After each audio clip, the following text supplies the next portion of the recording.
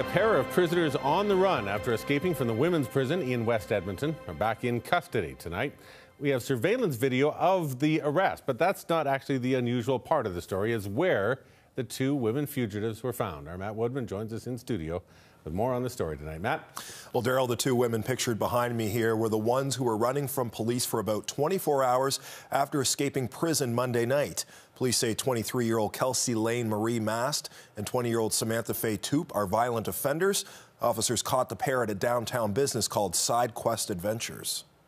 We had uh, two ladies come down the stairs uh, inquiring uh, as to what we did and what an escape room was all about. That's a pretty typical question. But these were not your usual customers, even if they did look the part. But they looked like our typical patrons, which was kind of the surprising thing. It's it's almost a daily question for for um, people to walk down and just ask about escape rooms. Rebecca showed the pair around, explaining that an escape room provides an adventure for teams who want to test themselves against different puzzles before time runs out. They just get to be kind of the hero of their own action story, that Indiana Jones moment. But Tuesday night was more like a scene from the movie The Fugitive, with police arriving just minutes later, asking questions about the two women. He asked if they had appointments with us. I said, no.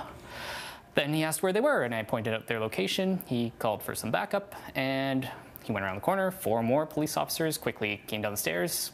Very shortly after, they were cuffed and walked straight out. Leaving the escape room in an ironic twist of fate. They can't escape, yeah, from the escape room. But yes. they can escape from, from prison, yes. Which is the escape room you're not supposed to escape?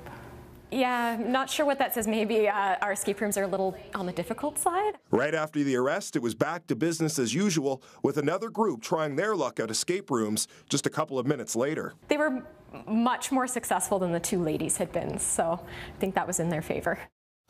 And the owners of the escape room say they're relieved the arrest went so smoothly considering the prisoner's history. Toop is serving a two-year sentence for robbery, theft, and dangerous operation of a vehicle. Mast is serving a two-year, nine-month sentence for trafficking, theft, and mischief. Daryl. A live report in studio tonight. Thanks, Matt. You're welcome.